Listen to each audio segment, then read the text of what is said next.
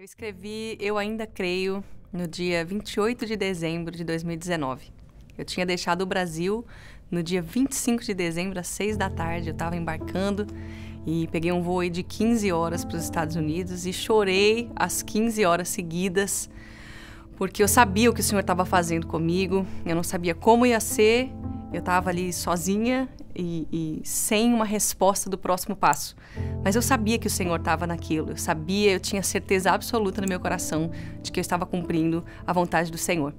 E ali me lembro na casa de uma irmã muito preciosa que me recebeu, estava uh, ali no quarto, peguei o violão e eu não tinha palavras boas para dizer.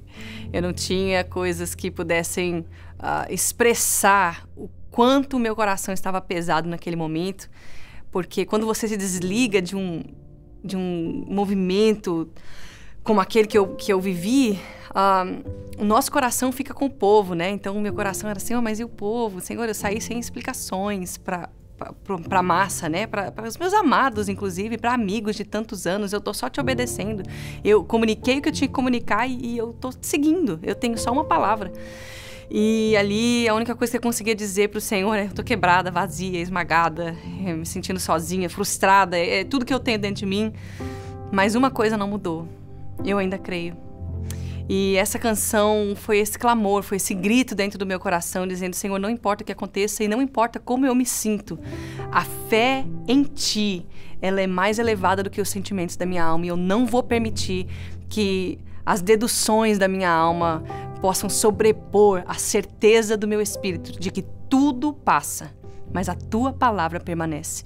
Então, ali eu clamava só, eu ainda creio, eu ainda sonho, eu ainda espero, e a única coisa que me mantém viva é saber que eu ainda o verei com os meus próprios olhos. Eu o verei, como diz a Escritura, não outro. Eu o verei, eu verei o Senhor.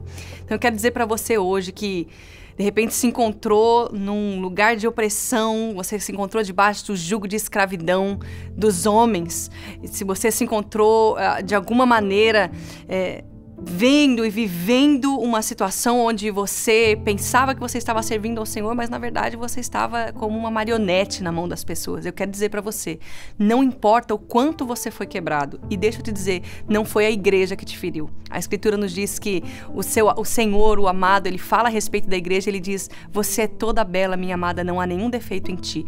Então talvez você foi ferido por pessoas em nome de Deus, mas eu quero te dizer que não foi Deus quem te feriu, não foi o corpo de Cristo quem te feriu. E eu quero dizer para você que existe uma esperança viva. Essa esperança viva é Jesus. E se você colocar os seus olhos fixos nele, autor e consumador da sua fé, ele vai fazer com você também o que ele fez comigo. Demorou alguns anos, mas eu escrevi o restante da canção e eu pude cantar restaurado, completo, renovada, sarada, cercada de amigos ah, e, e, olhando para Cristo. É, eu quero dizer para você que você pode pôr os seus olhos em Jesus e confiar nele, e ele vai restaurar o seu coração. Eu quero convidar você a cantar conosco, a declarar conosco e a, através dessa canção permitir que o Senhor te cure enquanto você canta. Eu ainda creio.